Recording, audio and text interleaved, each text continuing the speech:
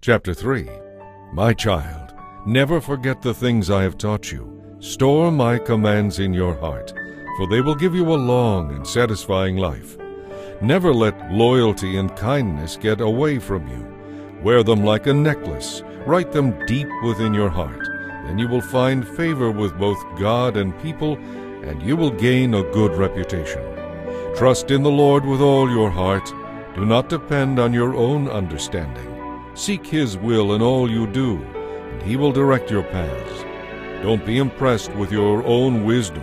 Instead, fear the Lord and turn your back on evil. Then you will gain renewed health and vitality. Honor the Lord with your wealth and with the best part of everything your land produces. Then he will fill your barns with grain, and your vats will overflow with the finest wine. My child, don't ignore it when the Lord disciplines you, and don't be discouraged when he corrects you. For the Lord corrects those he loves, just as a father corrects a child in whom he delights.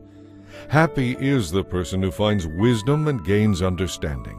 For the profit of wisdom is better than silver, and her wages are better than gold. Wisdom is more precious than rubies. Nothing you desire can compare with her.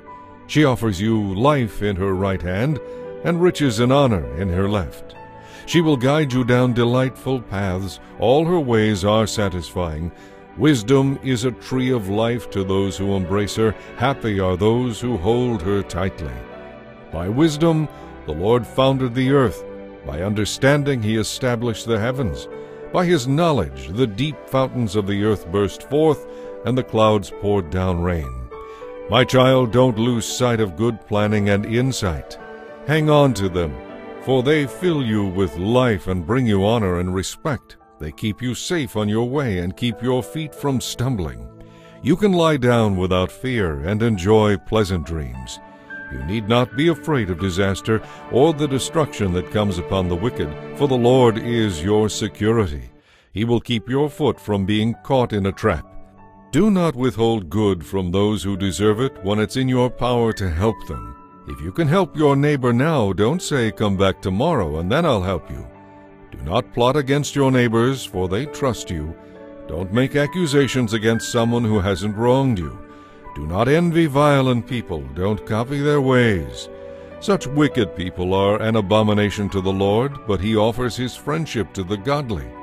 The curse of the Lord is on the house of the wicked, but his blessing is on the home of the upright. The Lord mocks at mockers, but he shows favor to the humble. The wise inherit honor, but fools are put to shame.